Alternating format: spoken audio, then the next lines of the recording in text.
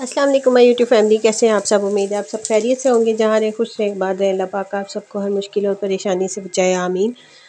और आज मैं एक वीडियो देख रही थी तो सोचा आपके साथ भी उनकी जो है बातें शेयर करूँ। और बहुत ही प्यारी मुझे उनकी बातें लगी, और अल्लाह पाक हमें भी इसी तरह इस्तकामत दे और दीन में जो है इस्लाम के दायरे में रह के हर चीज़ करने की तोफ़ी दे, आमीन। और जिस पर्दे को हम पर्दा समझते हैं, अल्लाह पाक इस हकीकी पर्दे की तोफ़ी दे हमें। तो बस देख के मुझे भी हो रहा था कि हम लोग जो है एक दूसरे की जो है ना रेस में आगे निकलने की रेस में हम लोग बहुत कुछ इस्लाम का जो है वो इग्नोर कर जाते हैं और देखते ही नहीं है कि इस्लाम में हमें इसकी इजाज़त है या नहीं है। और बस अल्लाह पाक हमें हमें हदायत दे, पहले सबसे पहले ख़ुद को हदायत दे और बाकी सबको भी अल्लाह पाक हदायत दे, क्योंकि ख़ुद से पहले शुरू करना चाहिए और बाद में सबको बताना चाहिए इस चीज़ का। तो यहाँ पे जो है मैं अफ्तारी की तैयारी कर रही थी और बस ज़्यादा कुछ नहीं बनाया था। चाट बना ली थी और साथ में जो है पकौड़े फ्राई कर लिए थे। तो बस आज ज़्यादा कुछ ब्लॉग नहीं बनाया, पूरा दिन इसी तरह बच्चों के साथ ही गुजर गया। तो जो है इसमें सारी चीज़ें मिक्स करके मैंने रख ली थी और दही जो है एंड पे डाला था मैंने। और मुझे चाट में जो है ना मीठी चटनी सबसे ज़्यादा अच्छी लगती है और पुदीने वाली जो इसमें तो इसीलिए मैं जब भी चाट बनाती हूँ और मीठी चटनी और ये सारी चीज़ें, चटनियाँ जो है ना, लाजमी बनाती हूँ क्योंकि इसके बगैर मुझे चाट का कोई मज़ा ही नहीं आता। तो बस यहाँ पे सारी चीज़ें जो है मैं तैयार कर लूँगी और साथ में पकोड़े भी गरम गरम फ्राई कर लूँगी। और आज ना मैंने पकोड़ों में बेसन के साथ थोड़ी सी सूजी डाली थी तो बहुत ही क्रिस्पी और मज़े से, मज़े के ये बने थे पकोड़े और क्रंची से और एंड टाइम तक ये जो है सॉफ्ट नहीं हुए थे, बिल्कुल मज़े के क्रंची से रहे थे। तो सोचा आपके साथ भी शेयर कर दूँ। तो बस यहाँ पे सारी चीज़ें रेडी हो गई हैं और हानिया को जो है बहुत ज़्यादा भूख लगी हुई थी क्योंकि पूरा दिन बच्चे जो है वो उछल कूद करते रहते हैं। तो इसीलिए मैंने इनको स्कूल टाइमिंग में नहीं रखने दिया था रोज़ा। मैंने बोला था कि सैटरडे और संडे रख लेना क्योंकि उस टाइम छुट्टी होती है और घर में बच्चे होते हैं तो थोड़ी फ़िक्र भी कम होती है माँ बाप को।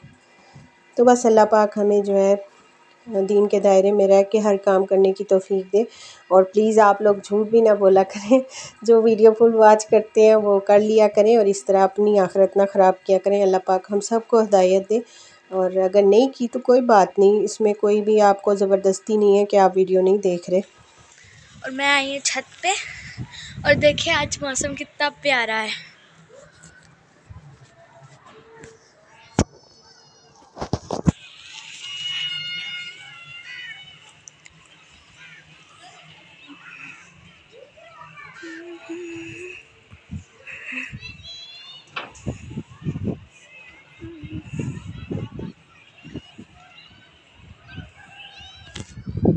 फ्रेंड्स, आप सबने मौसम देखा है और मैं सिर्फ़ आ जाई थी थोड़ी देर के लिए और मुझे दें इजाज़त और मैं जा रही हूँ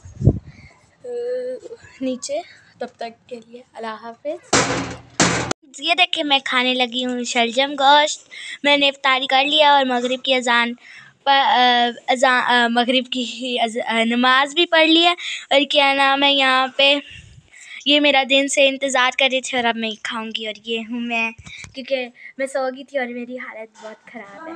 तो और यहाँ पे बना रही हूँ जी मैं मसाला कलेजी और ये बकरी की कलेजी है तो बस इसको मैंने ना उसी तरह जिस तरह मैंने मछली का बताया था ना उसी तरह इसको लहसन अदरक और पानी हरी मिर्चें डाल के इसको रख दिया था थोड़ी देर के लिए फिर इसको मैंने टोकरी में डाल दिया ताकि इसका अच्छे से पानी जो है खुश्क हो जाए।